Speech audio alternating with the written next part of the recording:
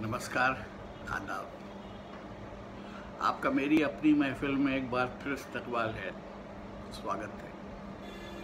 जी हाँ वही महफिल जिसमें मैं आजकल आपको सादत हसन मंटो के अफसाने सुना रहा हूँ। अब मैं धीरे धीरे सादत हसन मंटो की वो तमाम 300 तख्लीक़ात जो मेरे पास मौजूद हैं अपलोड कर चुकने के। बेहद करीब हूँ। तो मेरी एक मुहिम कि उनकी तख्लीक़ात को डॉक्यूमेंट किया जा सके। धीरे धीरे अंजाम को पहुँच रही है। इसके बाद मैंने कहा मैं इस पर चुख्ताई की तख्लीक़ात को डॉक्यूमेंट करने की कोशिश करूँगा। दुआ कीजिएगा कि अपनी उस कोशिश में भी कामयाब रहूँ। आज मैं आपको सुना रहा हूँ सादत हसन मंटो का अफसाना, एक जाहिदा, एक ख्वाहिशा। जावेद मसूद से मेरा इतना गहरा दोस्ताना था कि मैं एक कदम भी उसकी मर्ज़ी के ख़िलाफ़ उठा नहीं सकता था।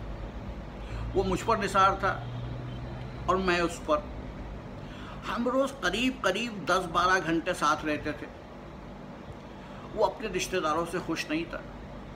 इसलिए जब भी वो बात करता तो कभी अपने बड़े भाई की बुराई करता और कहता सगबाश बिरादर, खुर्द मुबाश। और कभी कभी तो घंटों खामोश रहता, जैसे खिला में देख रहा है। मैं उसके उन लम्हा से तंगा कर जब ज़ोर से पुकारता, जावेद, ये क्या बेहूदगी है? वो एकदम चौंकता और माजरत तलब करता, सादत भाई, माफ़ करना। अच्छा तो फिर क्या हुआ? वो उस वक्त बिल्कुल खाली उस जहन होता। मैं कहता, भाई, जावेद, देखो मुझे तुम्हारा ये वक्तन, फ़ोक्तन मालूम नहीं किन गहराइयों में खो जाना बिल्कुल पसंद नहीं। मुझे डर लगता है, एक दिन तुम पागल हो जाओगे। ये सुनकर जावेद बहुत हंसा। पागल होना बहुत मुश्किल है सादत, लेकिन आहिस्ता आहिस्ता उसका खिला में देखना बढ़ता गया। और उसकी खामोशी, तवील सुकूत में तब्दील हो गई। और वो प्यारी सी मुस्कुराहट जो उसके होठों पर हर वक्त खेलती रहती थी, बिल्कुल फीकी पड़ गई। मैंने एक दिन उससे पूछा, आखिर बात क्या है? तुम पत्थर बन गए हो। हुआ क्या तुम्हें? मैं तुम्हारा दोस्त हूँ। खुदा के लिए मुझसे तो अपना राज न छुपाओ। जावेद खामोश रहा। जब मैंने उसको बहुत लान तान की तो उसने अपनी ज़बान खोली। मैं कॉलेज से फारिग होकर डेढ़ बजे के करीब आऊँगा। उस वक्त तुम्हें जो पूछना हो बता दूँ, जो पूछना होगा बता दूँगा। वादे के मुताबिक वो ठीक डेढ़ बजे मेरे यहाँ आया। वो मुझसे चार साल छोटा था। बेहद खूबसूरत, उसमें निस्वानियत की झलक थी। पढ़ाई से मुझे कोई दिलचस्पी नहीं थी। इसलिए मैं आवारा गर्द था।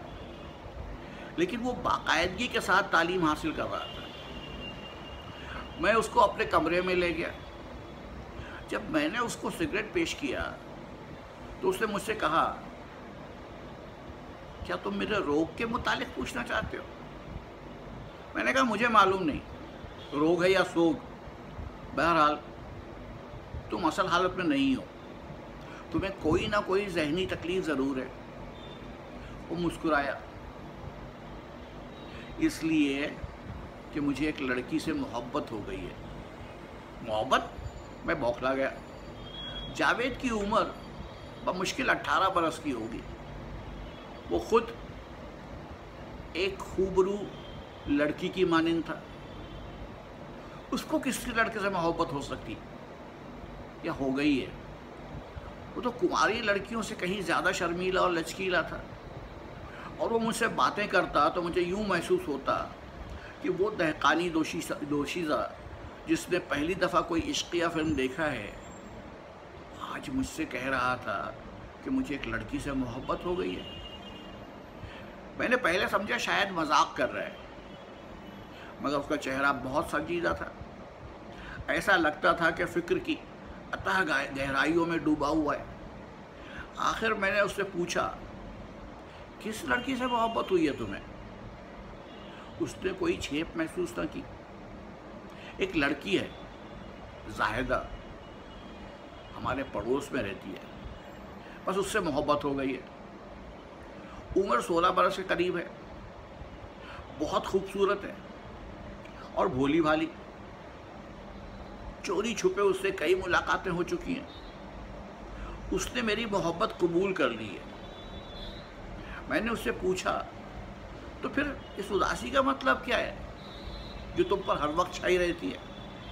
उसने मुस्कुराकर कहा सादत तुमने कभी मोहब्बत की हो तो जानो।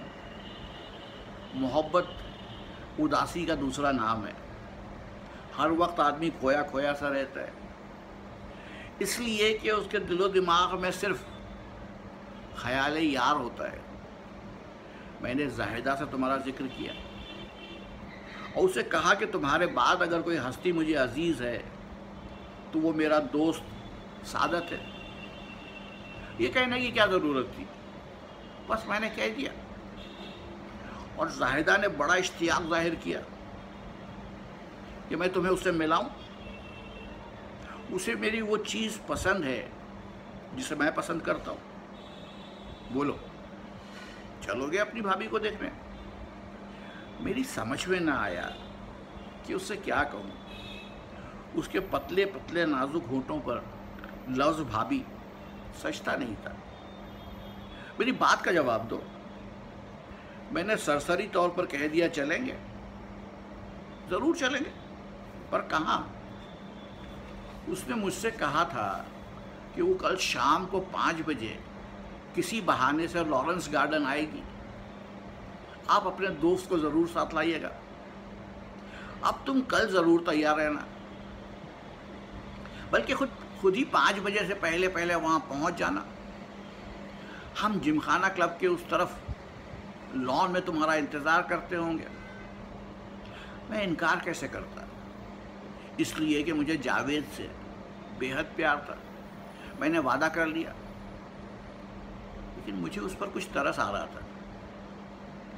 मैंने अचानक पूछा, लड़की शरीफ और पाकबाज है? जावेद का चेहरा गुस्से से तब दबाने लगा।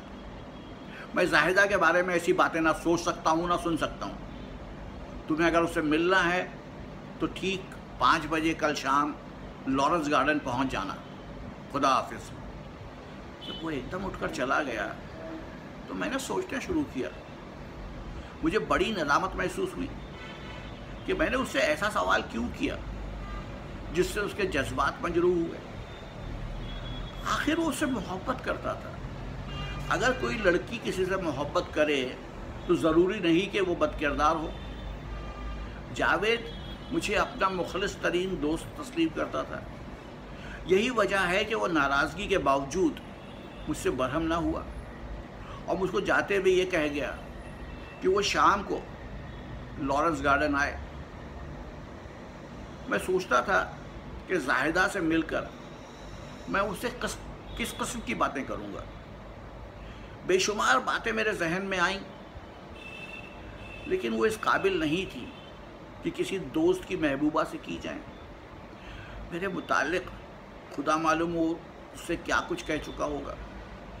यकीनन उसने मुझसे अपनी मोहब्बत का इजहार बड़े वालियाना तौर पर किया होगा। यह भी हो सकता है कि जाहिदा के दिल में मेरी तरफ़ से हसद पैदा हो गया हो। क्योंकि औरतें अपनी आशिकों की मोहब्बत बढ़ते नहीं देख सकती। मेरा, शायद मेरा मज़ाक उड़ाने के लिए उसने जावेद से कहा हो कि तुम मुझे अपने प्यारे दोस्तों से ज़रूर मिला बहरहाल, मुझे अपने अज़ीज़ तरीन दोस्त की महबूबा से मिलना था। उस तकलीफ़ पर मैंने सोचा कोई तोहफ़ा तो ले जाना चाहिए।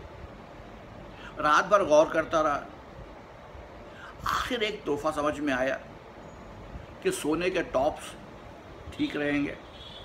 अनारकली में गया सब दुकानें बंद। मालूम हुआ कि इतवार की तातील है, लेकिन एक जौहरी की दुकान खुली थी। उससे टॉप्स खरीदे और वापस घर आया। चार बजे तक शस्यो पंच में उतला रहा कि जाऊँ या ना जाऊँ। मुझे कुछ हिजाब सा महसूस होता था। लड़कियों से बेतकल्लुफ बातें करने का आदि नहीं था। इसलिए मुझ पर घबराहट का आलम तारी था। दोपहर का खाना खाने के बाद मैंने कुछ देर सोना चाहा, मगर करवटें बदलता रहा। टॉप्स मेरे तकिए के नीचे पड़े थे। ऐसा लगता था कि लोग दहकते हुए अंगारे हैं। उठा, गुसल किया, उसके बाद शेव फिर नहाया और कपड़े बदल कर बड़े कमरे में क्लॉक की टिक टिक सुनने लगा। तीन बज चुके थे। अखबार उठाया, मगर उसकी एक खबर भी ना पढ़ सका। अजीब मुसीबत थी। इश्क मेरा दोस्त कर रहा था। और मैं एक, एक किस्म का मजनू बन गया था। मेरा बेहतरीन सूट रैंकिन का सिला हुआ मेरे बदन पर था। रुमाल नया शू भी नए। मैंने ये सिंगार इसलिए किया था कि जावेद जो तारीफ़ के पुल जाहिदा के सामने बांधे हैं कहीं टूट ना जाए। साढ़े चार बजे मैं उठा अपनी रिले की बेहतरीन साइकिल ली और आहिस्ता आहिस्ता लॉरेंस गार्डन रवाना हो गया। जिमखाना क्लब के उस तरफ़ लॉन में मुझे जावेद दिखाई दिया। वो अकेला था। उसने ज़ोर का नारा बुलंद किया। मैं जब साइकिल पर से उतरा तो वो मेरे साथ चिमट गया। कहने लगा, तुम पहले ही पहुँच गए। बहुत अच्छा किया। जाहिदा आती ही होगी। मैंने तो उससे कहा था कि मैं अपनी कार भेज दूँगा, मगर वो रजामंद न हुई। तांगे में आएगी। जावेद के बाप की एक कार थी, बेबी ऑस्टिन। खुदा मालूम किस सदी का मॉडल था। ज़्यादातर ये जावेद ही के इस्तेमाल में आती थी। लॉरेंस गार्डन्स में दाखिल होते वक्त ये अजूबा रोज़गार मोटर देख ली थी। मैंने उससे कहा, आओ बैठ जाएँ। लेकिन वो रजामंद ना हुआ। मुझसे कहने लगा, तुम ऐसा करो, बाहर गेट पर जाओ। एक तांगा आएगा, जिसमें एक दुबली पतली लड़की स्याह बुरका पहने होगी। तुम तागे वाले को ठहरा लेना। उससे कहना, मैं जावेद का दोस्त सादत हूँ। उसने मुझे तुम्हारे इस्तबाल के लिए भेजा है। नहीं जावेद मुझमें इतनी ज़रूरत नहीं। लाहौल वाला। जब तुम नाम बता दोगे तो उसे चू करने की भी ज़रूरत ना होगी। तुम्हारी ज़रूरत का सवाल ही कहाँ पैदा होता है? या ज़िंदगी में कोई ना कोई चीज़ ऐसी होनी चाहिए, जिसे बाद में याद करके आदमी महजूज हो सके? जब जाहिदा से मेरी शादी हो जाएगी तो हम आज के इस वाक़े को याद करके खूब हंसा करेंगे। जाओ मेरे भाई। वो बस अब आती ही होगी। मैं जावेद का कहना कैसे मोड़ सकता था? बादल नाखास्ता चला गया और गेट से कुछ दूर खड़ा रहकर उस तांगे का इंतज़ार करने लगा, जिसमें जाहिदा अकेली काले बुरक़े में हो। आधे घंटे के बाद एक तांगा अंदर दाखिल हुआ, जिसमें एक लड़की ने काले रेशमी बुरके में पिछली नशिस्त पर टांगे फैलाई बैठी फैलाई फैलाई बैठी हुई थी। मैं छेपता, सिमटता, डरता, आगे बढ़ा और तांगे वाले को रोका। उसने फ़ौरन अपना तांगा रोक लिया। मैंने उससे कहा, यह सवारी कहाँ से आई है? तांगे वाले ने ज़रा सख्ती से जवाब दिया, तुम्हें इससे क्या मतलब? जाओ, अपना काम करो। बुरका पोश लड़की ने महीन सी आवाज़ में तांगे वाले को डांटा। तुम शरीफ आदमियों से बात करना भी नहीं जानते। फिर वो मुझसे मुखातिब हुई, आपने तांगा क्यों रोका जनाब? मैंने हकला के जवाब दिया जावेद जावेद, मैं जावेद का दोस्त सादत हूँ। आपका नाम जाहिदा है ना? उनने बड़ी नरमी से जवाब दिया। जी हाँ मैं आपके मुतालिक उनसे बहुत सी बातें सुन चुकी हूँ। उसने मुझसे कहा था कि आप इसी तरह से मिलूं और देखूँ कि आप मुझसे किस तरह पेश आती हैं। वो उधर जिमखाना क्लब के पास घास के तख्ते पर बैठा आपका इंतज़ार कर रहा है। उसने नकाब उठाई। अच्छी खासी शक्ल सूरत थी। मुस्कुराकर मुझसे कहा, आप अगली नशस्त पर बैठ जाइए। मुझे एक ज़रूरी काम है। अभी चंद मिनटों में लौट आएँगे। आपके दोस्त को ज़्यादा देर तक घास पर नहीं बैठना पड़ेगा। मैं इनकार नहीं कर सकता था। अगली नशिस्त पर कोचवार के साथ बैठ गया। तांगा असेंबली हॉल के पास से गुजरा तो मैंने तांगे वाले से कहा, भाई साहब, यहाँ कोई सिगरेट वाले की दुकान हो तो ज़रा देर के लिए ठहर जाना। मेरे सिगरेट ख़त्म हो गए ज़रा आगे बढ़े तो सड़क पर एक सिगरेट पान वाला बैठा था। तांगे वाला उतरा। सॉरी तांगे वाले ने अपना तांगा रोका। मैं उतरा तो जाहिदा ने कहा, आप क्यों तकलीफ़ करते हैं? तांगे वाला ले आएगा। मैंने कहा, इसमें तकलीफ़ की क्या बात है? उस पान वाले के पास पहुँच गया। एक डिबिया गोल फ्लैग की ली, एक माचिस, दो पान, पाँच के नोट से बाकी पैसे लेकर मुड़ा तो कोचवान मेरे पीछे खड़ा था। उसने दबी आवाज़ में मुझसे कहा, हुजूर, इस औरत से बचकर रहिएगा। मैं बड़ा हैरान हुआ। क्यों? कोचवान ने बड़े वसूख से कहा, ख्वाहिशा है, इसका काम यही है कि शरीफ और नौजवान लड़कों को फांसती है। मेरे तांगे में अक्सर बैठती है। ये सुनकर मेरे अवसान खतरा हो गए। मैंने तांगे वाले से कहा, खुदा के लिए तुम उसे वहीं छोड़ आओ, जहाँ से लाए हो। कह देना कि मैं उसके साथ जाना नहीं चाहता। इसलिए कि मेरा दोस्त लॉरेंस गार्डन्स में इंतज़ार कर रहा है। तांगे वाला चला गया। मालूम नहीं उसने जायदा से क्या कहा। मैंने एक दूसरा तांगा लिया और सीधा लॉरेंस गार्डन पहुँचा। देखा कि जावेद एक खूबसूरत लड़की से महवे गुफ्तु है। वो बड़ी शर्मीली और सजीली थी। मैं जब पास आया तो उसने फ़ौरन दुपट्टे से मुँह छुपा लिया। जावेद ने बड़ी खफगी आमेज लहजे में मुझसे कहा, अरे, तुम कहाँ गारत हो गए थे? तुम्हारी भाभी कब की आई बैठी है? समझ में ना आया क्या कहूँ। सख्त बौखला गया। उस बौखलाहट में ये कह गया कि वो कौन थी जो मुझे तांगे में मिली? जावेद हंसा। मज़ाक ना करो मुझसे। बैठ जाओ और अपनी भाभी से बातें करो। ये तुमसे मिलने की बहुत मुश्ताक थी। मैं बैठ गया और सलीके की कोई बात ना कर सका। इसलिए कि मेरे दिलो दिमाग पर वो लड़की या औरत मुसलत हो गई थी, जिसके मुतालिक तांगे वाले ने मुझे बड़े खुलूस से बताया था कि फाहिशा है। फाहिशा ये आज की कहानी।